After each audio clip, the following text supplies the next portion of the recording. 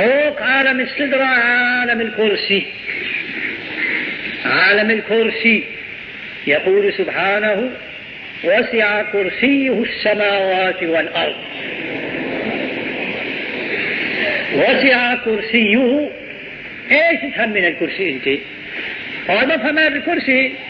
اللي له أربع أرجل أو ثلاثة بيقول لا لا. الوهم الصعب. هذا تفهموا من الآية. وإنما معنى الآية من ذلك بكبير بكثير يقول وسع كرسيه السماوات والأرض معناها أن الكرسي عالم واسع جدا ومن جملة ما اتسع له أنه وسع السماوات والأرض. فالسماوات والأرض في عالم الكرسي. قال ليش سمي كرسي قال نعم صحيح. نرجع للغة العربية. إيش معنى الكراس والتكريس؟ هلا إذا قالوا لك كراسة قال يعني مجموعة أوراق قال له معنى التكريس كرس كرس يعني جمع. هذا معناها إذا الكراريس والكراسة والتكريس معناها الجمع. إذا عالم الكرسي عالم كبير جمع من العوالم فيه لا يعلمها إلا الله. من جملة عوالم الكرسي السماوات والأرض.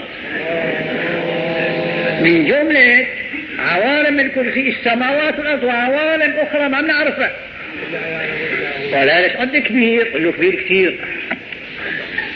قال يعني قل له بنرجع لصاحب البيان النبوي صلى الله عليه وسلم. الذي قال نبأني العليم الخبير صلى الله عليه وسلم. لأن هذه أمور لا تعرف بالعقل إنما يحتاج إلى نقل وهو الأمور الغيبية. فماذا قال صاحب النبوة صلى الله عليه وسلم؟ أي صاحب الخبر عن الله هذا معنى النبوة صلى الله عليه وسلم.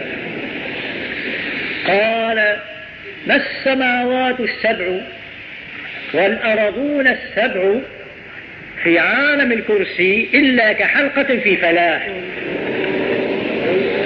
حلقة صغيرة في برية.